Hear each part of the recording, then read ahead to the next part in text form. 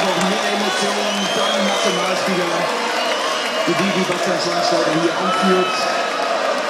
Mit der Nationalhymne hier in diesem wunderschönen Stadion zu stehen, hat für Platz